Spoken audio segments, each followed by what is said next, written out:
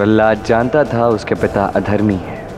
अधर्मी असुर हिरण्यकशिपु ने जब सुना कि उसका पुत्र प्रहलाद नारायण का भक्त है तो उसने प्रहलाद को ही मारने के अनेक प्रयास किए।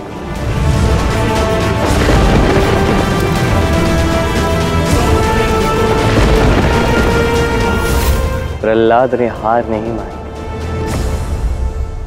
उसने सहायता के लिए नारायण को पुकारा। हे नारायण, अब अपने भक्त की भक्ति की लाज रखने आपको आना ही होगा। नारायण नरसिंह अवतार में वहाँ पे आए अर्जुन। वो जानते थे कि हिरण्यकशिपु प्रहलाद के पिता है। वो जानते थे, फिर भी हिरण्य हिरण्यकशिपु का संहार किया। अधर्म के विरुद्ध धर्म का साथ दिया, प्रहलाद का साथ दिया। बार देखा जाए तो प्रहलाद अपने पिता से बल और आयु दोनों में छोटा था। तब भी नारायण ने उसी का साथ दिया। क्यों? क्योंकि प्रहलाद ने धर्म का साथ निभाया। और धर्म के लिए वो स्वयं अपने पिता के विरुद्ध खड़े होने के लिए भी सज्ज था। ये साहस उसने दिखाया। और सबसे बड़ी बात, प्रहलाद सही था अर्जुन। और इसलिए नारायण ने उसका साथ दिया। अर्जुन, बस सोचो। यदि प्रहलाद ये कहता कि जो मेरा विरोध कर रहे हैं, जो मेरे नारायण का विरोध कर रहे हैं, वो मेरे पिता है तो मुझे उनसे नहीं लड़ना चाहिए, मैं उनसे नहीं लड़ सकता। तो क्या होता? समस्त त्रिलोक को कष्ट भोगने पड़ते पार्थ। उस नन्हे से बालक ने भी संबंध नहीं, धर्म को चुना। और इसलिए नारायण ने उसका साथ निभाया। प्रहलाद की रक्षा की और अंत किया उसके पिता हिरण्यकशिपु का। उसी प्रकार आज यहाँ इस क्षण, इस रणभूमि में मैं तुम्हारे साथ हूँ, पार्थ।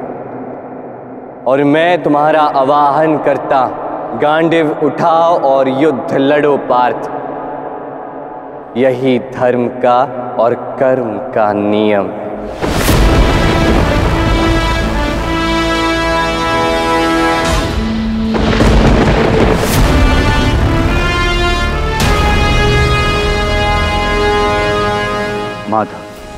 आप जो कुछ भी कह रहे हैं, वो मैं समझ रहा हूँ, परंतु न जाने क्यों मेरा हृदय नहीं मान रहा। आप जो कुछ भी कह रहे हैं, वो मेरी बुद्धि तक पहुँच रहा है, परंतु वो मेरे हृदय में नहीं उतर रहा। किंतु बात तो तभी समझ में आती है पार्थ जब वो हृदय में उतरते हैं। तुम संसार में बाकी सारे उदाहरण भी देख सकते हो। स्वयं नारायण के राम अवतार को देखो। उनके जीवन में अनेक ऐसे प्रसंग आए, जहाँ उन्होंने देखा, अपनों को ही अपनों के समक्ष खड़े होते हुए। और उन्होंने साथ दिया केवल धर्म का पार्थ किसी विशेष व्यक्ति का नहीं। बाली और सुग्रीव, इन दो भाइयों का उदाहरण देखो, पार्थ।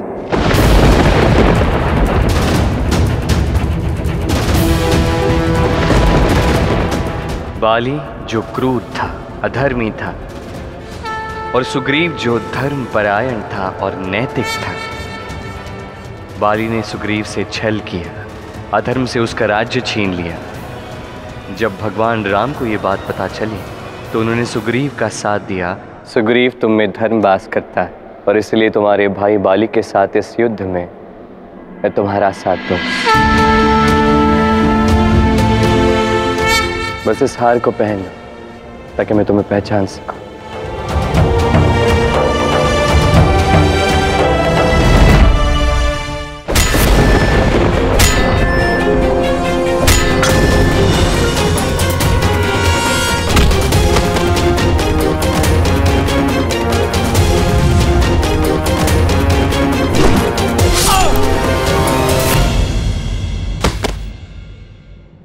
राम ने बाली का वध करके सुग्रीव को पुनः राजा बनाया।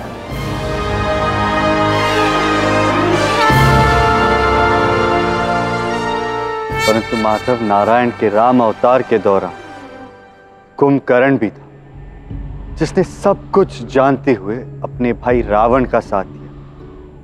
अर्थात अपनों का ही साथ दिया ना माधव। और क्या उसने उचित किया पार्थ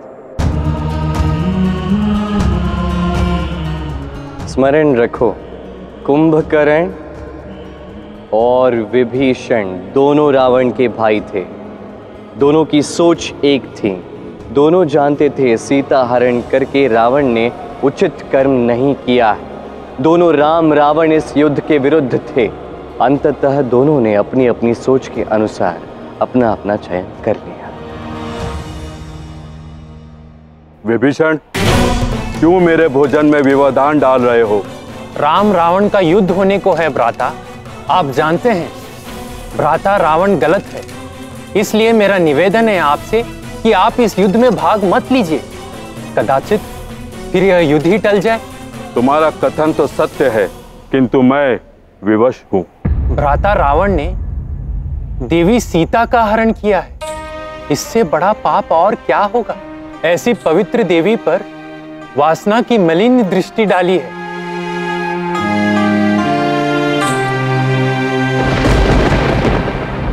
यहाँ प्रश्न उचित और अनुचित का नहीं है। प्रश्न है, भ्राता रावण को मेरे दिए हुए वचन का। चाहे जो भी परिणाम हो, मैं उन्हीं की ओर से लड़ूँगा। रावण ही मेरा राजा होगा और रामकांत मेरा लक्ष्य है।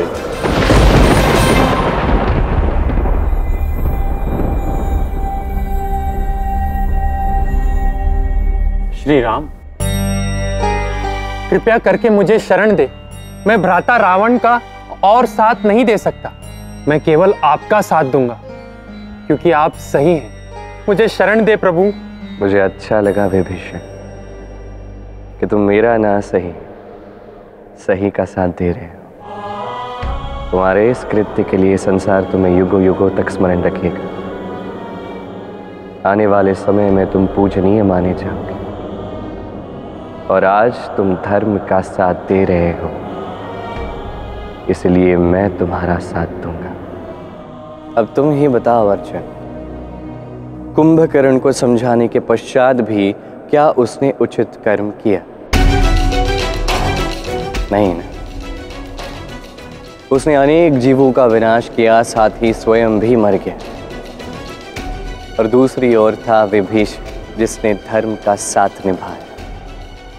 जिसने धर्म के लिए अपनों को त्याग दिया पार्थ। जो उचित है, उसके लिए वो स्वयं अपने भाई रावण से लड़ा। और इसलिए नारायण का राम अवतार उसके साथ था।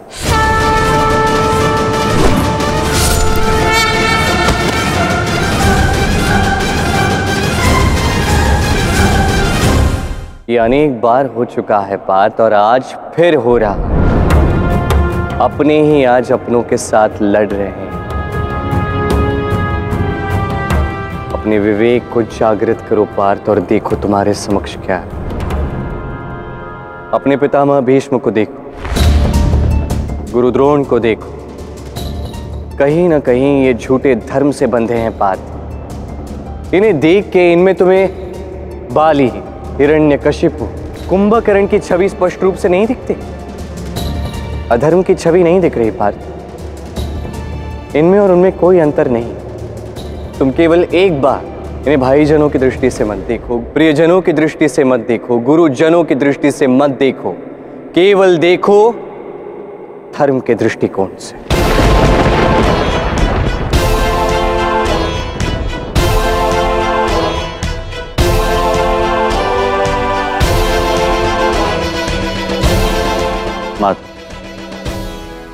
जो कह रहे मैं वो समझ रहा हूँ। परंतु ये कार्य मेरे लिए अत्यंत कठिन है। प्रहलाद, सुग्रीव, विभीषण जैसा धैर्य मुझमें क्यों नहीं आ पा रहा? मैंने कहा था, आत्मा अमर है। बस तुम इसे समझ नहीं पाए, बात। मुझे एक बात बताओ। नारायण ने अनेक रूप धारण किए, अनेक अवतार लिए। नरसिंह अवतार, राम अवतार, किंतु इन सभी अवतारों में क्या उनकी आत्मा बदली? इन सभी रूपों में भी वो एक ही थे ना पार्थ?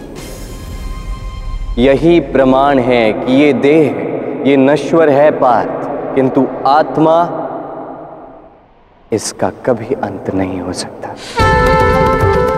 पार्थ, अपना धनुष उठाओ, बाण चलाओ, युद्ध करो। तुम अपनों के साथ युद्ध नहीं कर रहे हो पार्थ।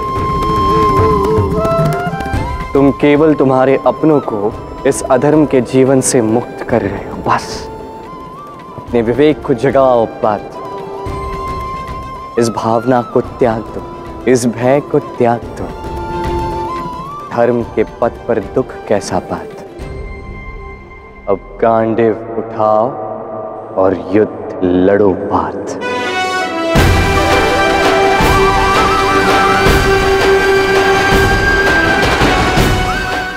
सही कह रहा है अर्जुन।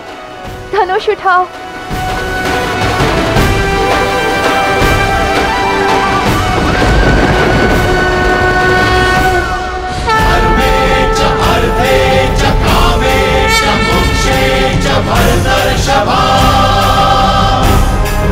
यदि हस्ति तदन्यत्र यन हस्ति